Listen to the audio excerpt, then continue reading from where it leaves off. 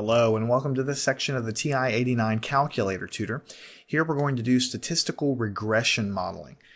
And basically what that is is a fancy word that says that, you remember how we were plotting these scatter plots on the previous lessons, where we had the little uh, squares or rectangles that would denote our xy points in our plane there. Well, the scatter plot just plots the points. But what if you wanted to try to fit a curve that kind of went through those points in terms of an actual equation? I mean, what if you had a lot of statistical data that looked like a parabola, let's say, and you wanted to calculate like which parabola would actually fit right through those points? So that is what statistical regression does for you.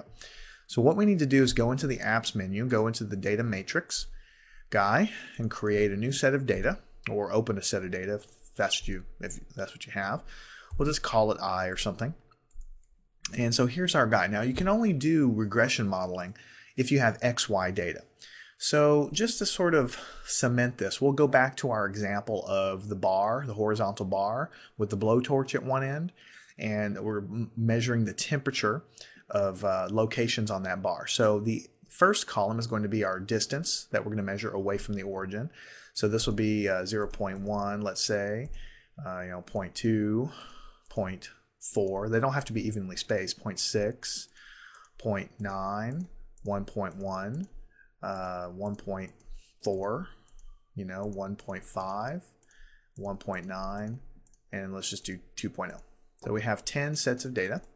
Now at these locations, we are measuring the temperature. So very close to the origin where the blow blowtorch is, let's go back to our example, 300 degrees, super hot, right? And what happens is, let's say it starts dropping very, very steeply right near where the, uh, the uh, blowtorch is. And as we get farther away, it kind of flattens out like this. So maybe it goes from 300 to 250, and then it goes down to 200. And as we get a little bit farther away, maybe it'll start to flatten out, 100 and, uh, let's do 180, let's say. Let's make it drop by, by uh, 20 degrees, maybe 160, maybe 100 and you know 50 or something like that.